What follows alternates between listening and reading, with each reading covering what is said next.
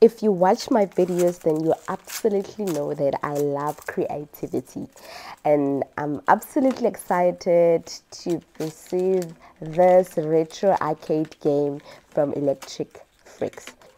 So one may ask, what is inside this box, right? so this is a robotics and coding game, right?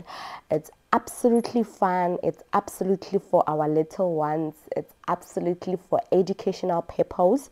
As you all know, the Department of Basic Education has amended um, robotics and coding beginning next year it will be rolling out from grade r throughout grade 9 so as a teacher and as a mom i'm absolutely thrilled to explore this beautiful device right so don't be left behind. I don't want to leave you behind in 2024 when we start next year, right? So it's it's it's advisable that you start now to prepare your child for next year.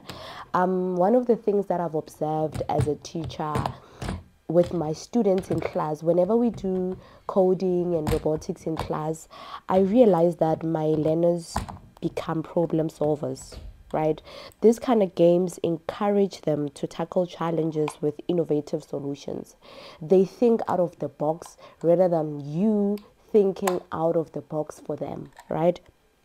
They become critical thinkers and you know they collaborate. You'd find there's this learner that um, doesn't like engaging. They always sit it alone in a corner.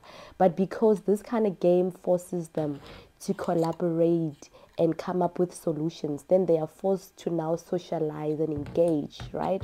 So, yeah, they become creative, they become imaginative, and um, they absolutely improve with using technology, and that also allows them you know, and gives them opportunities for better future careers, right? So let's encourage our, our students, let's encourage our learners to engage more in coding and robotics. Uh, it's definitely here, it's definitely here to stay. So we better start, you know, um, engaging our kids at home, engaging our kids in at school, you know, because like I said, it's here to stay. Um, so this device specifically, it's very easy to use. Um, as you can see in the video, there's a manual. Um, there's a website on the box, at the back of the box, as you can see on the video. You can just go to their website and when you get to their website, um, you can find a whole lot of um, games, right, that you can explore and then you can just um, connect the cable from your laptop to your device and in that way whatever game that you would have coded will definitely be transferred to the game. So you can explore a lot of games. You can also create your own right? So yeah go ahead and check them out.